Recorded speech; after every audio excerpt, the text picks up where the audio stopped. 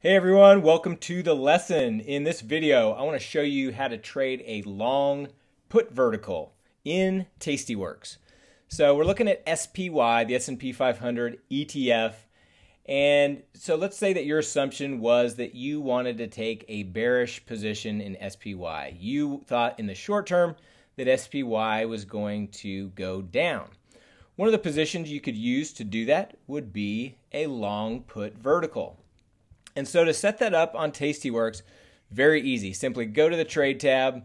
Oh, excuse me, up here, hit the trade tab. And if you're in the table view, this will show you all the different option chains. Now we like to stay in the monthly with uh, between 30 and 60 days. The bold white indicates that these are the monthly options. So we choose the one between 30 and 60 days, in this case 38. If we open up that option chain, it brings up the different strikes.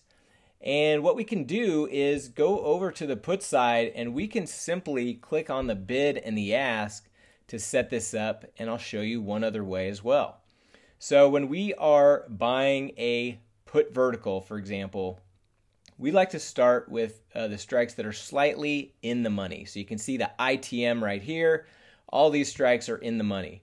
So let's just choose one. Let's say the 279 and that's the one that we're going to buy. So we just click on the ask. Okay, and that populates. You know it's you know it's a buy because it's circled outlined with green color. And then we want to sell one that's lower. So let's go five points wide, which would be the 274 strike. And then we'll simply click on the bid, which populates the sell order. Okay, so it's, it's all set up. You can see that this is about a 50 50 bet you can see by your probability of profit about a 50 51% probability of making profit. You can see the probability of making 50% of max profit is about 67%. You can see the delta is negative because this is a bearish trade. We want the stock to go down. You can see your theta, your max profit at 285, and your max loss at 214.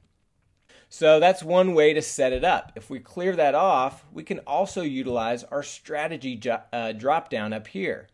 Now remember, this is a long put vertical, so we first need to toggle this to long, keep that on put, and make sure that our drop down goes to vertical. Okay, and that automatically populates the strikes onto our screen, but those aren't the ones we wanted, right? We wanted the 279, so you can simply click and drag and the 274, so we drag that one up there. Either way, it's, it's extremely easy. Whatever your preference is, it doesn't matter. So if you're happy with that, you can still see the statistics. And if that's all you need to know to send the trade in, simply hit review and send, and then you can get filled with the broker. Now, I'm a visual person, I'm a visual trader, so I like to go over to the curve tab and make sure the analysis is highlighted and that'll populate your visual graph of the trade. So you can see you know exactly what price you'll be profitable and what price you'll be unprofitable. And that'll give you everything you need to kind of see the visual representation. Now you still have your statistics down here. Those haven't changed and you can view these from both the table mode as well as this analysis mode now let's say this this looked okay, but you wanted to mess around and, and see what it would look like if you move these strikes around. So you could click and drag your your long put this way, you can click and drag your short put this way, get an idea of what your max profit and, and max profit and max loss would be. You can you can look at that by either you know looking at your flag up here and you can see that changes as you move it around you know this is where you're max at max profit this is where you're at max loss. That's also displayed down below for the max profit and loss but this helps you get a gauge of if you're kind of in between the max profit and loss to see exactly where your break even points are and everything that you need to know.